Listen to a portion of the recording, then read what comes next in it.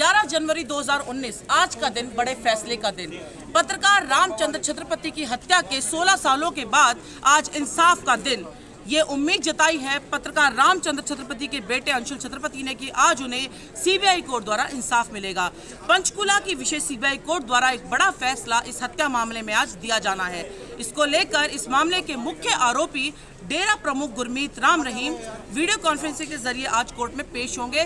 और इसके अलावा जो अन्य तीन आरोपी हैं, निर्मल सिंह, कुलदीप और कृष्ण लाल, वो अब से कुछ ही देर पहले कोर्ट में पहुँचे हैं, जिनकी पेशी प्रत्यक्ष रूप से सीबीआई कोर्ट में होनी है। इसके साथ साथ इस मामले के मुख्य गवाह खट्टा सिंह भी यहाँ कोर्ट में आज पहुँचे हैं और अंशुल छत्रपति, जो मृतक रामचंद्र छत्रपति के बेटे हैं, वो भी कोर्ट परिसर पहुँच चुके हैं। जज का काफिला आपसे कुछ ही देर पहले कोर्ट पहुँचा है, कुछ ही देर में सुनवाई शुरू हो जाएगी।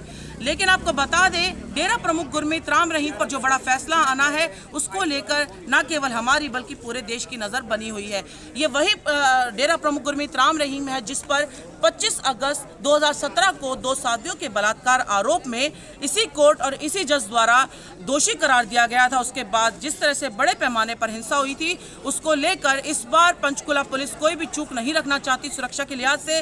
और यही कारण है कि हैवी बैरिगेटिंग इस बार पंचकुला पुलिस में की गई है। इस वक्त हम कोर्ट परिसर के बाहर हैं। आप ये देख सकते हैं, पुलिस फोर्स यहाँ तैनात है। बैरिगेड्स यहाँ लगाए गए हैं, जो लोग अंदर जा रहे हैं, उनके पहचान पत्र, उनका सामान, उनके जो जो है, जाँच की जा रही है, ताकि कोई भी व्यक्ति अंदर जाए, उसको पूरा सुनिश्चित किया जाए कि उसके पास कुछ भी आपत्तिजनक सामान ना हो। इसके अलावा यहाँ पर महिला पुलिसकर्मी भी तैनात की गई हैं।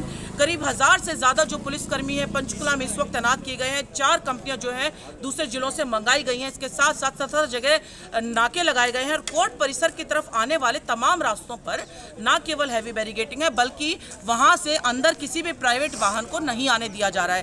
केवल सरकारी और प्रशासनिक वाहनों को यहाँ आने की अनुमति है। इसके अलावा किसी व्यक्ति और किसी वाहन को यहाँ आने नहीं दिया जा रहा है। आज कोर्ट परिसर में भी केवल वही लोग जा सकते हैं जो वकील हैं या फिर जिनका कोर्ट से संबंधित कोई काम है, वो भी अपना पहचान पत्र और पूरी जाँच के बाद ही जा सकते हैं। इतने पुख्ता इंतज़ाम जो है पंचकुला पुलिस प्रशासन द्वारा किए गए हैं। इसके साथ ही पंचकुला ज़िले में धारा 144 भी आज इस फैसले को लेकर लगाई गई है।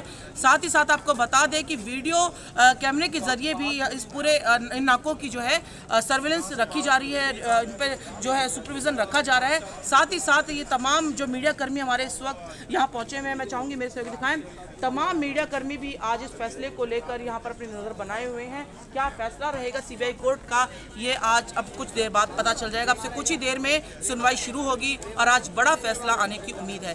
पंचकुला से मेरे सहयोगी विजय के साथ उमंग शरान।